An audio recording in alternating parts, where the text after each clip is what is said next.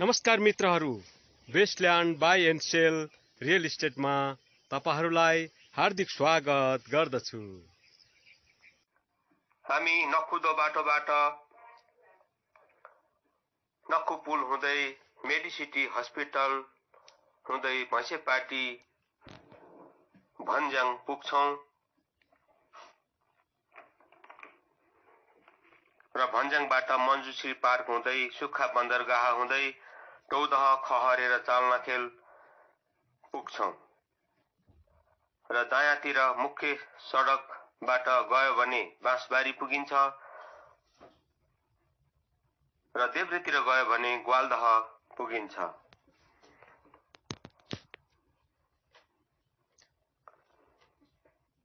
हामी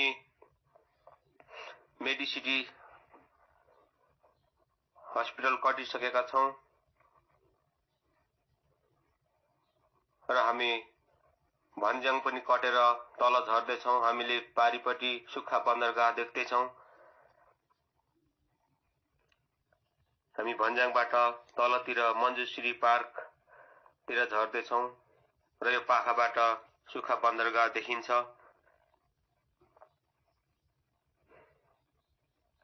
अब हामी ठ्याक्कै मन्जुश्री पार्क कटेर टौदहतिर लाग्दैछौँ। टौदह पुग्नुभन्दा अगाडि हामी सुक्खा बन्दरगाह पुग्छौँ। काठमाडौँ निजगढ तराई मधेस द्रुत मार्गबाट ल्याइएको सबै सामानहरू यसै सुक्खा बन्दरगाहमा राखिनेछ यो निलो बार गरेको ठाउँ सुक्खा बन्दरगाह हो। केही छिनमा हामी गेट पनि देख्नेछौँ। र यो गेट हो। यतापट्टिको गेट। र हामी अगाडि बढ्दैछौँ र यो भवनहरूमा हामी कालीमाटीबाट कालीमाटीको तरकारी बजार यस ठाउँहरूमा सारिनेछन्। र हामी अगाडि बढ्दैछौँ र हामी दायाँतिर गयौँ भने भुतखेल जान्छौँ र बायाँतिर हामी जाँदैछौँ। बायाँतिर गएपछि हामी एकैछिनमा अब टौदह पुग्नेछौँ।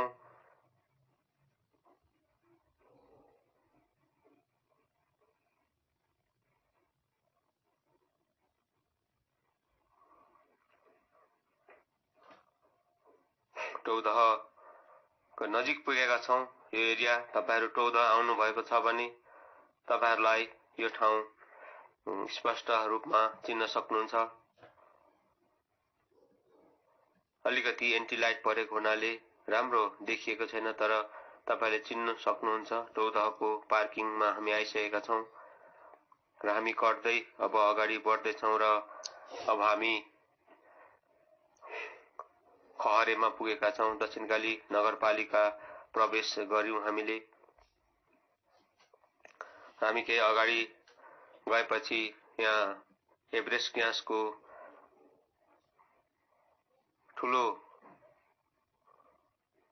एभरेस्ट ग्यास उत्पादन गर्ने ठाउँ हामी देख्न सक्छौँ। दायाँपट्टि केही अगाडि गएपछि यो चाहिँ चालनाखेल चोक हो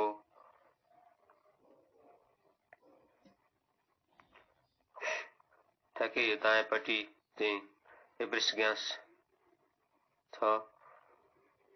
अब यो हाइटमा हामी गएपछि अलिकति माथि त्यहाँ पुलिस चेक चेकपोस्ट पनि छ। र यो चाल्न खेल अब सुरु हुँदैछ।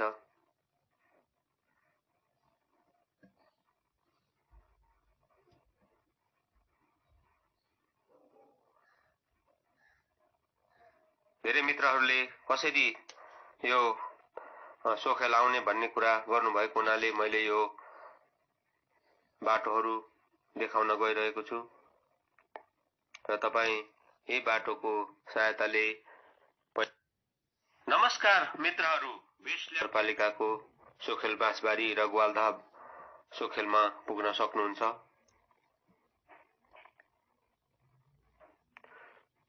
अब हामी चाल्ना खेलको अन्तिम छेउतिर पुग्दैछौँ र यहाँ एउटा पिपलको बोट छ यहाँ चोक छ। यो चोकबाट चाल्ना खेल समाप्त हुन्छ। हामी चोक पुग्न लागेका छौँ।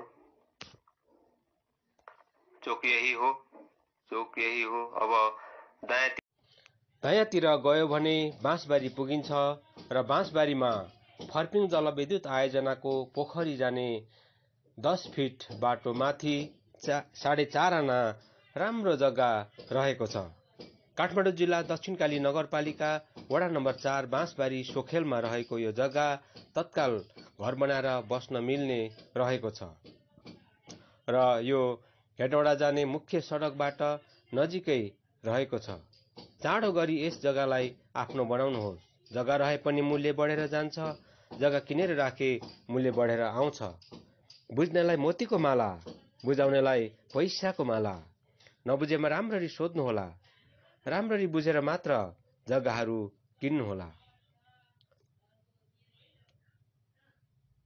साथै तपाईँहरू पनि घर वा जग्गा बेच्नुपर्ने छ भने हामीलाई सम्पर्क गर्नुहोला। हामी तपाईँहरूको घर वा जग्गाको भिडियोसहित विस्तृत जानकारी यस च्यानल मार्फत धेरै दर्शक सामु पुर्याउन सहायता गर्नेछौँ। तपाईँहरूलाई यो भिडियो यो एरिया कस्तो लाग्यो कमेन्ट अवश्य गर्नुहोला र मन पर्यो भने लाइक सेयर पनि गर्नुहोला र अहिलेसम्म पनि यस च्यानललाई सब्सक्राइब गर्नुभएको छैन भने सब्सक्राइब गरी नजिकैको बेल आइकनमा थिचेर हामीसँग जोडिनुहोला। यो जग्गालाई प्रति आना रु एघार लाखमा बिक्रीमा राखिएको छ। साथै यससँगै रहेको छ आना जग्गा पनि छ र यो जग्गालाई पनि बिक्रीमा राखिएको छ र यसलाई पनि प्रति आना रु एघार लाखमा बिक्रीमा राखिएको छ। अहिलेसम्म हामीसँग सहभागी भइदिनु भएकोमा तपाईँहरूलाई धेरै धेरै धन्यवाद। Bestland buy and sell real estate हेर्दै गर्नुहोला।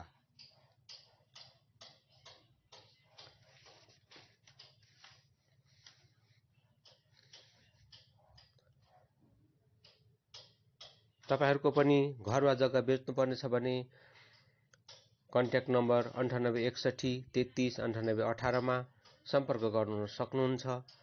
एनसेल चलाउने मित्रहरूले अन्ठानब्बे दस एघार बाइस बयासीमा सम्पर्क गर्न सक्नुहुन्छ। अथवा आफैले पनि तपाईँहरूले आफ्नो घर वा जग्गाको भिडियो बनाएर हामीलाई भाइबरमा सेन्ड गर्न सक्नुहुन्छ र डिटेलमा जानकारी पठाउनु भयो भने हामी यसलाई एडिट गरेर हाम्रो च्यानलमा राख्नेछौँ र धेरै दर्शकसँग पुर्याउन सहायता गर्नेछौँ। चाँडो गर्नुहोस् हिउँदा लागिरहेको हुनाले अब जग्गाहरूको मूल्य पनि बढ्दै गइरहेको छ। अहिलेलाई बिदा हुन चाहन्छु। अरू नयाँ नयाँ भिडियोहरू लिएर फेरि आउनेछु। Bestland buy and sell real estate हेर्दै गर्नुहोला। यो महामारीको समयमा मास्क लगाउँ भौतिक दूरी कायम गरौँ जिम्मेवार नागरिक बनाऊ आफू बचाउँ अरूलाई पनि बचाउँ धन्यवाद धन्यवाद धन्यवाद।